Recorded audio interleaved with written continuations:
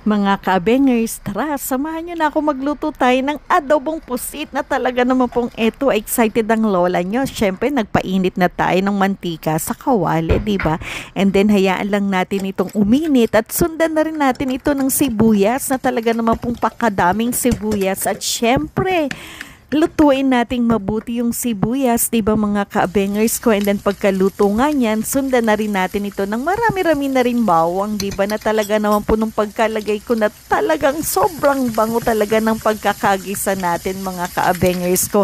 And then pagkatapos nga niyan, syempre sundan na rin natin ito ng mga sangkap natin na toyo, 'di ba? Na talaga naman po tinansya lang ng lola nyo, 'di ba? Yung toyo and then syempre yung ating uh, oyster sauce, 'di ba? Pagkatapos nga ng oyster sauce ay ang ating liquid seasoning na nga na talaga namang lahat tinansya lang ng lola nyo. And then syempre huwag kalimutan yung ating suka na talaga naman po magbibigay ng asim sa ating adobo, di ba? And then of course, pagkatapos niyan, lagyan natin ng konting tubig, mga kaabengers ko. And then pagkatapos nga niyan, syempre yung paminta natin, wag na wag kalilimutan, di ba?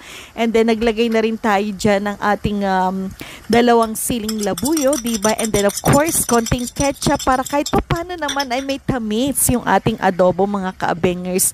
Halo-halo, mekos-mekos lang tayo. And then syempre, syempre hayaan nating kumuluyan mga kaabengers ko and then syempre tikim-tikim na naman tayo mga kaabengers ko na talaga namang wow talagang sap super na, 'di ba? Nag-thumbs up na agad ang lola nyo and then syempre isunod na natin yung ating um, puset na talaga naman pong wow. Excited na excited tayo na kumulo ito, di ba? At kaya inayos-ayos ko muna mga kaabengers ko. And then syempre, oh my God, talagang katakam-takam na itsura pa lang, di ba mga kaabengers ko? At eto na nga, kita nyo naman, di ba, yung aking... Uh, Ayan, 'di ba? Kumukulo-kulo na siya ng konti, 'di ba mga kaabengers ko? And then after nga niyan, Siyempre, yung aking anak, nagtanong na ba kung luto na ba ito dahil nga gusto na niyang kumain na dahil naaamoy na niya yung ano nito, talagang excited na siya talaga na matikman na yung ating uh, adobong pusit. And then, siyempre, tinikpan ko nga uli ito, di ba, na talaga naman pong